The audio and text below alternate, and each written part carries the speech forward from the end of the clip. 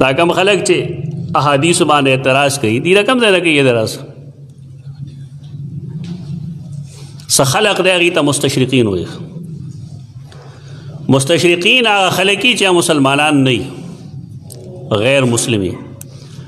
خواغي مشرقي جبز دکی پښتو زدکی عربي زدکی فارسی زدکی داغي ذهن کې اسلام نه بلکې د اسلام خلاف داغي ذهنیت جوړ کړی شوی هغه چې داسې قسمه احادیث یا د قران آیتونه ویني چې هغه د عقل خلافي هغه باغی په جدا رنگ کې پیش کیخ د مستشرقینو کتابونه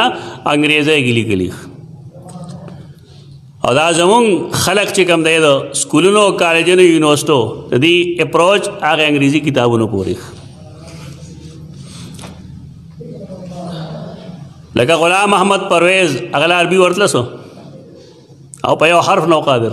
تما سره ملاقات شوه کتابونه چې هغه چا لګي لام زه پیژنم چې څوک ده هغه ما حدیثو کې ګوته وایخ نور به شمیره خلک دی هغه کتاب راواخلی اب اردو ته ترانسلیټ کړي اردو ته چې راشي نو بیا زمونږ داسې قسمه خلکو ته غلام جیلاني برق او دې خلکو په لاس ورشي نو دا یې کتاب لیکلی دی کتاب نوم ته وګوره دو اسلام ته د اسلام څه مطلب دی دا اسلام دشمنه باندې لیکل شوی دی دی په دې کې ثابتول دا غواړي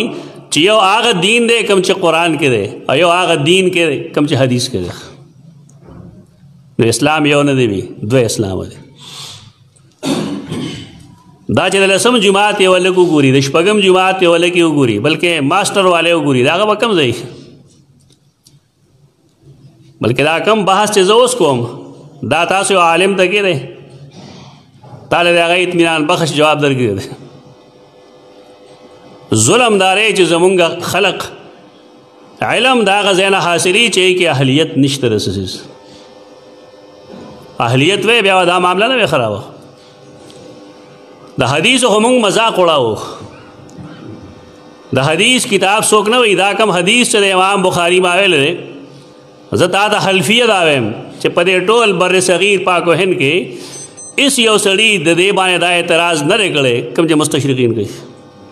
او نه شاګرد ته هول دی به کوم ځای راځي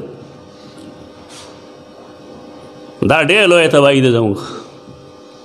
یعنی کم چې مونږ پوهه غنو د دین پوهه خلک هغه هم د دین نه به خبره دی بیچاره مزه وراه ټول عمر پلانې کافر دی پلانې کافر دی دا داسې وي وسیله نه مني او دا سماع موتا نه مني حیات النبی نه مني دا څه مسائل دي د انسان د نجات دار و مدار خو په دغه مسائلو نه دی په دې باندې د حدیث حجیت کنډویږي